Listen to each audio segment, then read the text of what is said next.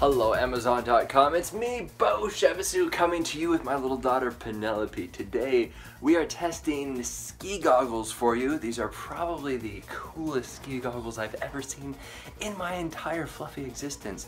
Right now my wife is actually outside right now in the cold Pacific Northwest weather and, uh, and she is testing whether or not they will fog up.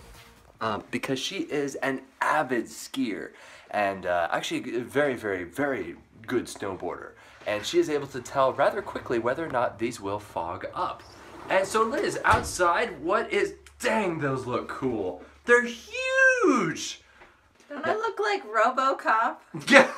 like a 1980s sci-fi? Oh, oh, oh, a little bit, a little, little bit, a little bit scary there. Hi. It's mommy. The only thing I've kind of noticed is that there seems to be like a, a transition of some kind.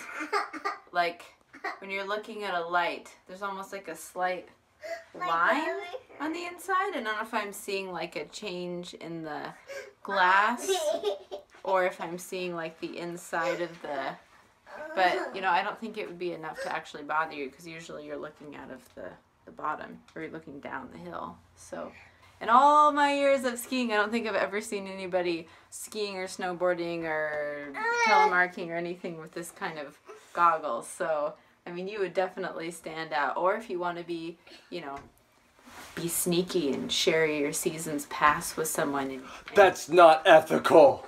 and you don't want them to know who you are. I mean, you couldn't even tell if someone was a male or a female with this, well, except for my hair sticking out. But completely eliminates your entire identity.